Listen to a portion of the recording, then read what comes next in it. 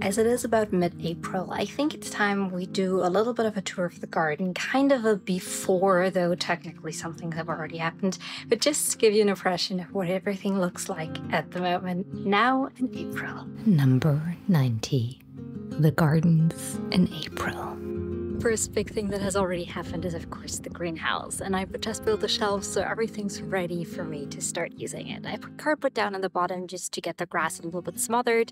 And we'll see if I actually plant in the ground in there. I don't currently think so. I think it's better to use containers in the greenhouse, but we'll see about that. Anyway, it's up, it's standing, and it has survived the first storm. Pepper is slowly getting used to animals in the garden. He now only chases toward them when they surprise him. The chicken are happily weeding away and hopefully they'll make some progress. I'll have to put them back in when I leave because they can't be unattended. But as I was here for about two hours, I decided to let them out to weed for a little bit. Yeah, anyway, the potato bed is looking exactly the way it did, but we're gonna get the potatoes in the ground soon. And I've decided to put the second half as an Irish bed, assuming I can get that all done with shovel, but that's the plan now.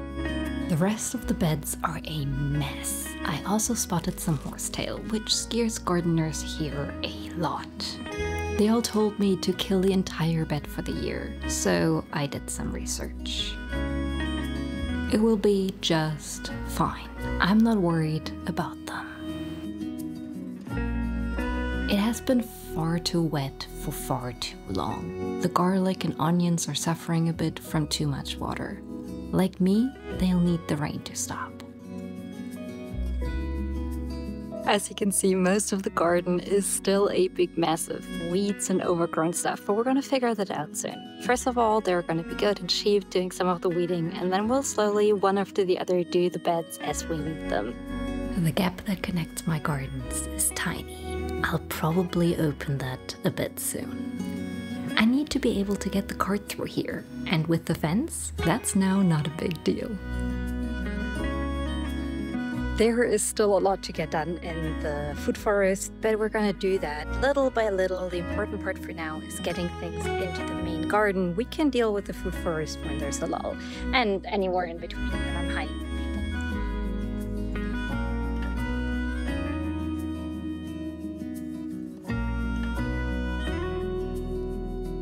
In here, all the wood paneling has to be removed, but to be honest, I don't think we're gonna get that done before there's some lull and I'm bored because it's just not important and there are so many more important things to get done. And I mean, we're not really spending time in here yet anyway, but there are gonna be two little couches that our neighbors are getting rid of.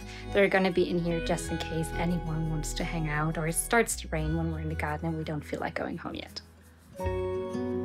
The cherry tree next to the walnut is blossoming. And the currant bushes are starting to develop fruit already. There is still a ginormous trash pile, but I'm getting help with that soon. This area will hopefully also get some visits from the sheep because I really don't feel like trimming it, but if we need to, I'll trim all of this down and make sure that the raspberries, blackberries, that the blackberries are only where they're supposed to be. And then there's my least favorite area, the stupid second hut that I still need to get down there somehow. I don't know how, but not a priority. I mean, I would like to use that for water storage, but it's not an option right now because the roof isn't coming down. So I was kind of hoping it would just come down, but so far that hasn't happened. Pepper, come on. Let's go home.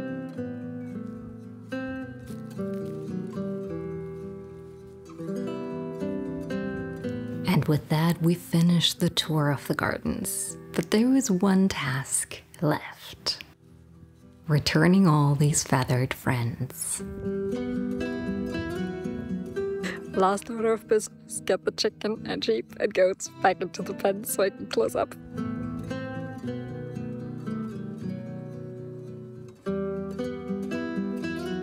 I have never done this.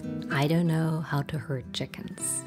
It didn't help that I'd opened the wrong door.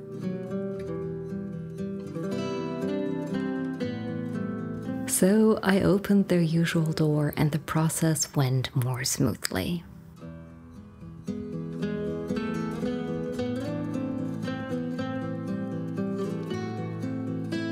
I counted the larger animals, then left. They were confused I didn't feed them. Okay, all the ladies are back in, so I can go home.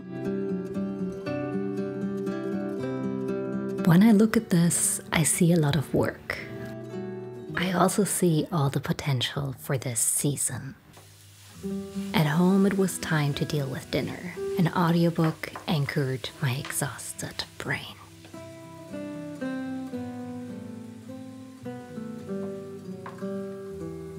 While the meat cooked, I fed the kefir grains that make my delicious sour cream.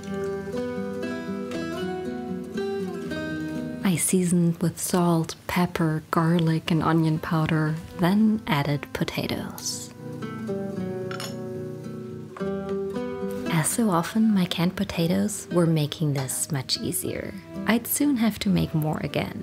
I also used beans I'd canned myself. Speaking of things I made myself, I think I never mentioned that I made these plates. I took a pottery class while we lived in New Zealand. These and Pepper's bowl were the result. The next morning.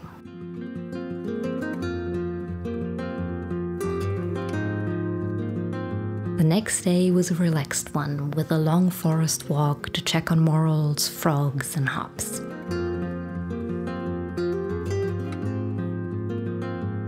My husband stuck his phone to the temporary pond to check on the frog spawn.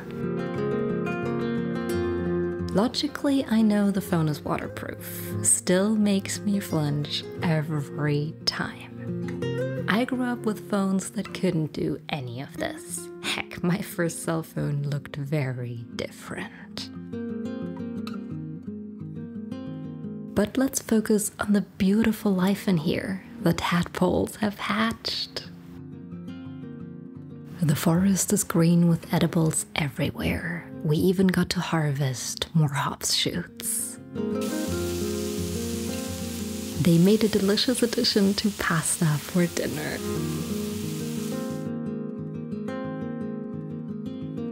So long, and thanks for being here. If you want to support the channel, go to rootsandcalluses.com slash support. The link is also on the screen and in the description below.